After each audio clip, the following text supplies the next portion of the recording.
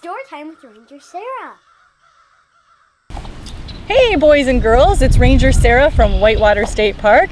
And today I wanted to think about turtles. Yeah, turtles. I mean, they're pretty cool, right? Actually, I think turtles are amazing.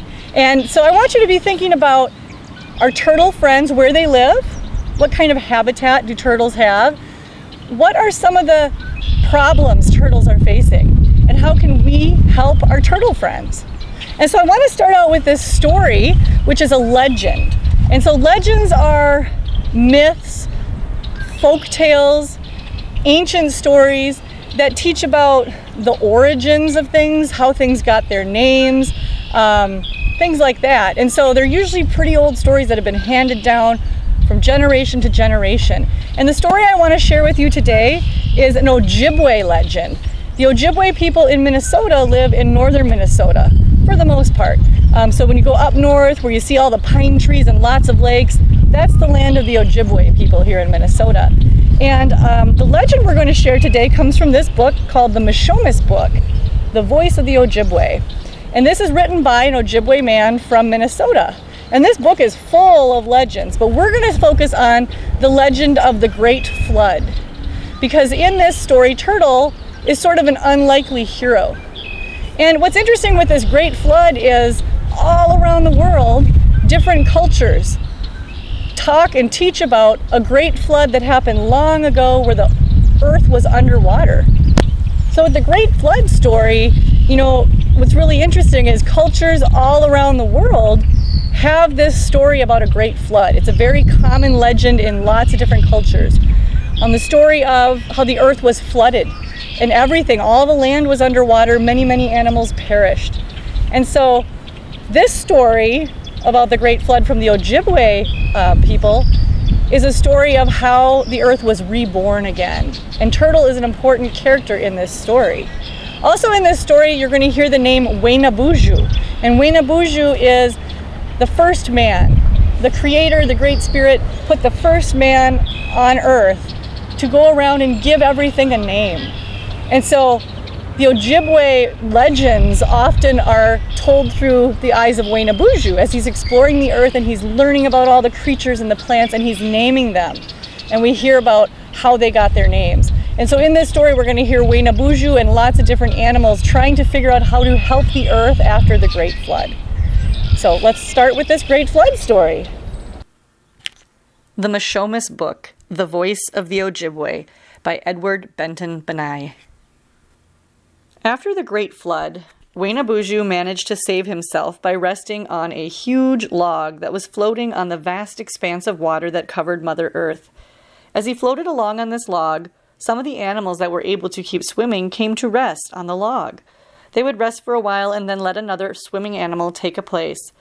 It was the same way with the winged creatures. They would take turns resting on the log and flying.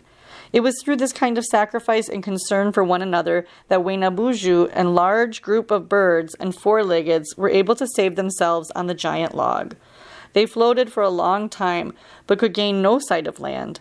Finally, Waynaboozhoo spoke to the animals. I am going to do something, he said. I am going to swim to the bottom of this water and grab a handful of earth. With this small bit of earth, I believe we can create a new land for us to live on with the help of the four winds and Gitche Manitou. So Waynaboozhoo dived into the water. He was gone for a long time. Some of the animals began to cry, for they thought that Waynaboozhoo must have drowned trying to reach the bottom. At last the animals caught sight of some bubbles of air, and finally Waynaboozhoo came to the top of the water. Some of the animals helped him onto the log. Waynaboozhoo was so out of breath he could not speak at first. When he regained, regained his strength, he spoke to the animals. The water is too deep. I never reach the bottom. I cannot swim fast enough or hold my breath long enough to make it to the bottom. All of the animals on the log were silent for a long time.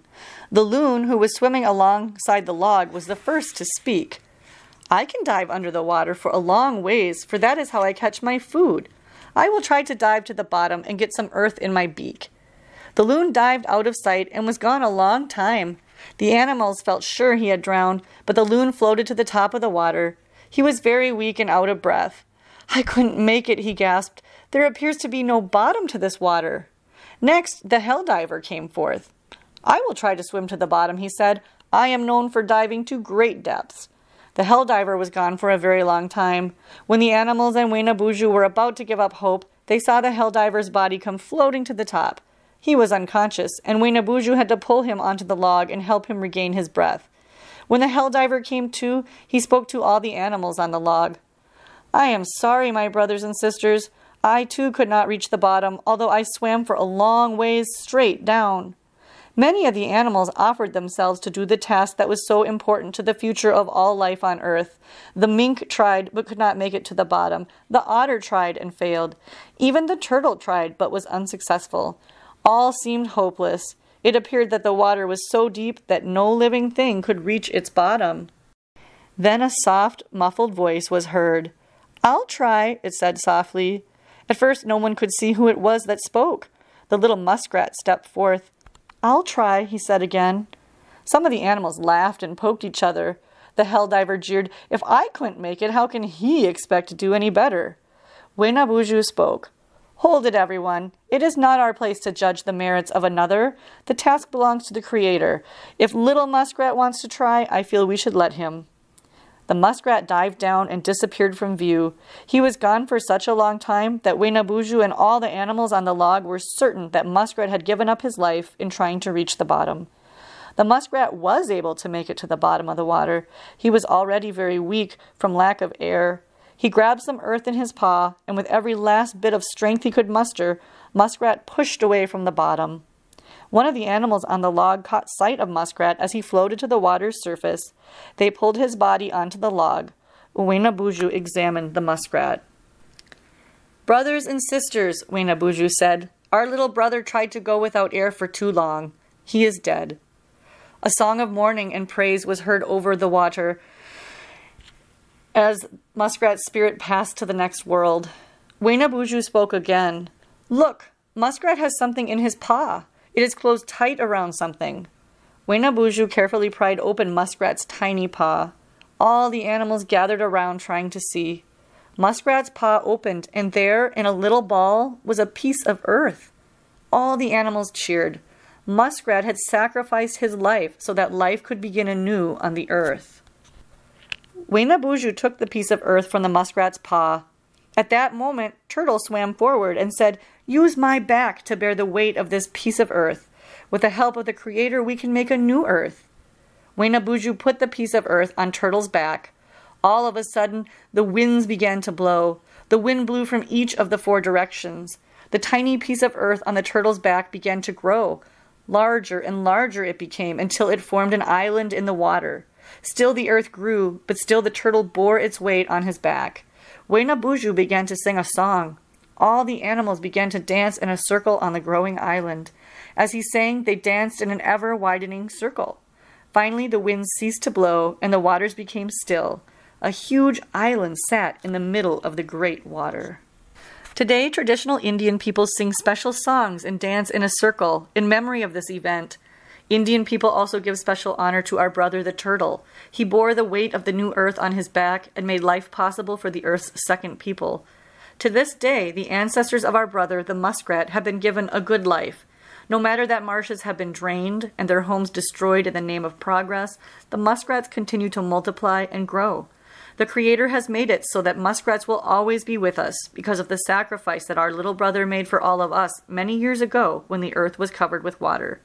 The muskrats do their part today in remembering the great flood. They built their homes in the shape of the little ball of earth and the island that was formed from it.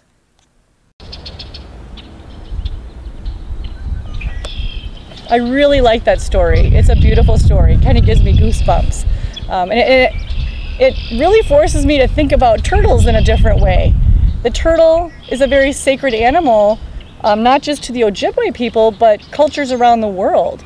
Um, there's lots of different indigenous peoples, not just in North America, but in other countries, that um, see turtles as sacred beings.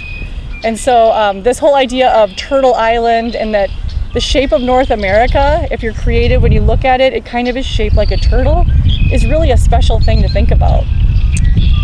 So what I'd like to do now is kind of show you a couple things you can do to help our turtle friends.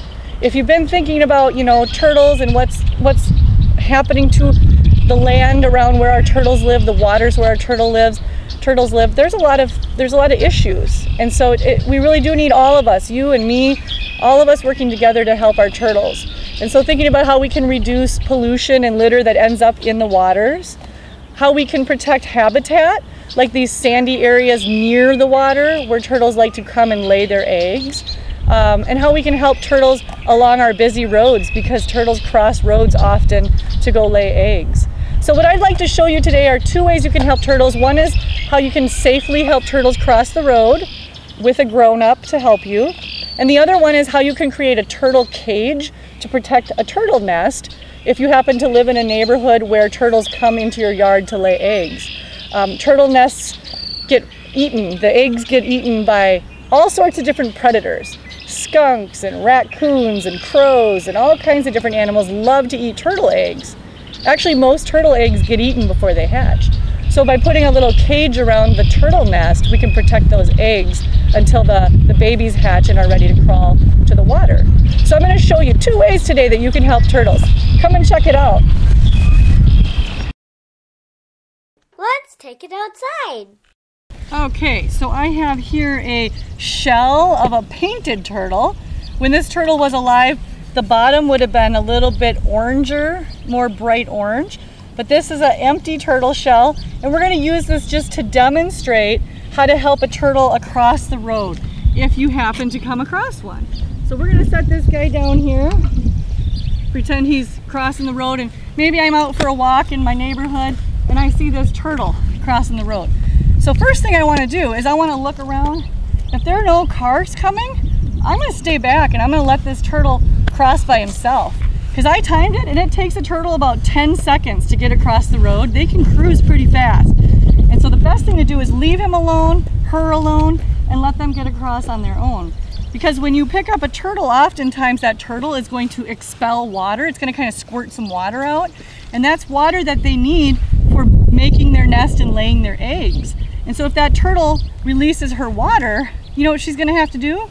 She's going to have to turn around and go all the way back to the swamp to get more water and she's gonna have to cross that road again. So we actually just made things harder for her.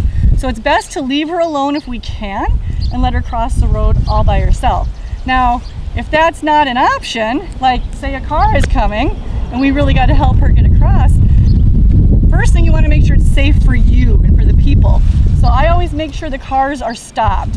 And usually I have somebody with me so they can kind of stop the cars. And then I'm going to go up to this turtle I'm going to grasp it in the middle of the shell where the bottom and the top shell come together. I'm going to grasp it firmly so it can't wiggle loose and drop.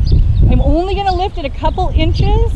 I'm going to keep it really close to the ground. Take it straight across the road in the direction its head was facing because that turtle was trying to get somewhere. It wants to go that direction. I want to, I want to help it get to that direction. So I want to move that turtle straight across the road in the direction it was headed and gently set it in the grass on the road ditch on the other side of the road always first and foremost, make sure you are safe, that you're not putting yourself in danger.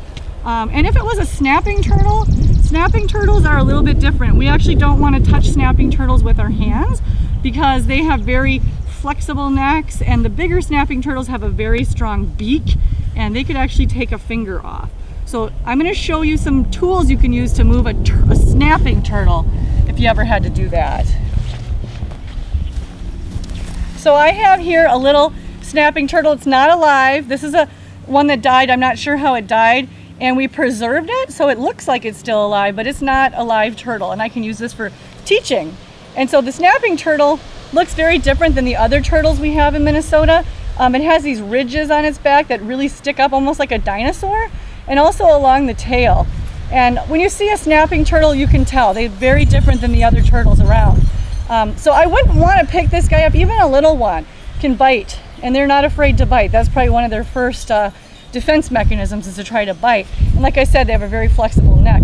So instead of picking up a snapping turtle, what I would do is find a stick, a good sized stick along the side of the road, and you can put that stick down in front of their face, and usually they're gonna bite it. And oftentimes they lock on when they bite it, so you can actually gently drag them off to the side of the road. So that's one thing you can do. I like to carry a snow shovel in my vehicle all summer long, all year long. Um, and so if there's snapping turtles that won't get out of the road, I can actually gently scoop under them with the snow shovel and move them off to the side using a snow shovel. So keep that in mind. We still want to help our snapping turtles. They're still good, good friends. They're important in the natural world, but we just want to be careful so we don't end up getting bit. Um, you don't want to pick them up by the tail because that can hurt them. And some of the bigger snapping turtles are pretty heavy. If you were to pick them up by the tail, that can actually hurt their back. It can break their back. So we don't want to hurt the animal. We're trying to help it. So um, use a stick or use a shovel to gently slide them off to the side of the road.